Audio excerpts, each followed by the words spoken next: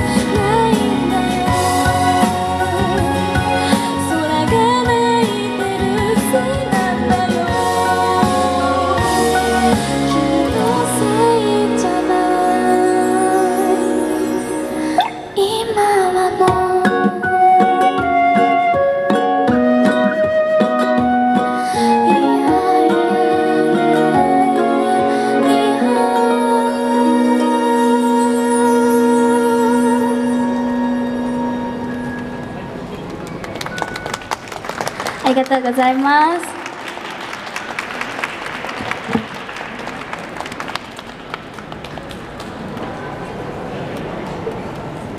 皆さんこんばんは天子優香です。よろしくお願いします。えっと私こ今年ファクトリーに出させていただくのが3回目なんですけどそのうち今までの2回とも優香のグダグダトークっていうまあグダグダした。私は面白いと思って頑張って話してるんですけど グダグダしたトークを話しているんですがあの今日はちょっと時間の都合上できないのでできないんですがそんな皆さんに朗報です。明日と 81.3MHz 札幌村ラジオさんであの6時から「優香のグダグダトーク」っていうコーナーをやってますのでよかったら皆さんぜひ聞いてみてください。はいそれとあともう一つだけ告知させてください。